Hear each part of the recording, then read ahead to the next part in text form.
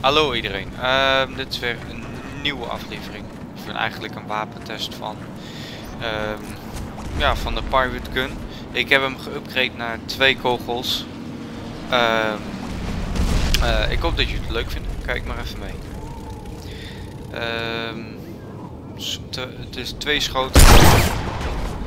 En het eh, duurt heel lang voordat je weer kan schieten ertussen. Eigenlijk te lang. Naar het, ehm, het, eh, de accuracy. Eh, ja, de manier waarop die schiet is eigenlijk te slap. Je kan niet van ver schieten. Het blijft op zich gewoon hetzelfde wapen. Alleen... eh, het, het wapen is eigenlijk... eh, je hoeft hem niet te upgraden naar twee kogels. Want de tijd ertussen is gewoon eigenlijk herladen. Dus... eh, dat wou ik even zeggen. Nu kunnen we wat gameplay gaan doen ermee. Dus eh, let's go. Let's go Daniel. Mooi.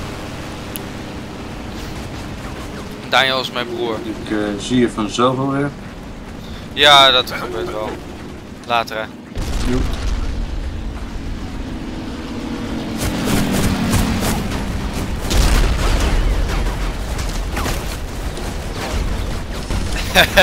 je hoort mijn mannetjes. Lukt het? Oh shit. Totaal ook mijn andere eh, mannetje wel. Het gaat wat beter. Ja. Ik eh, ga er wel even uit en dan join ik er zo weer met mijn andere character. Beetje nationaal. Ja, Oké, nou ja, eh, tot zo. me zo. Gameplay. Voor degenen die mij nog niet kennen, check mijn eh, kanaal. Ik heb eh, veel meer video's. Oké, dat is mooi. Ehm, ja, zoals je ziet, het doet, soms doet het niet zoveel damage, 19 maar. En de andere keer doet het 52 of weet ik veel.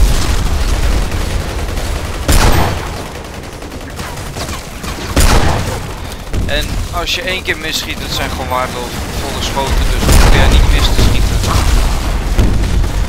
Met zijn MK1 bad boy. Ehm, ja. Dat was eigenlijk alles wat ik wil laten zien. De eh, Pirate Gun. Met twee kogels. Maar de tijd ertussen is eigenlijk gewoon herladen.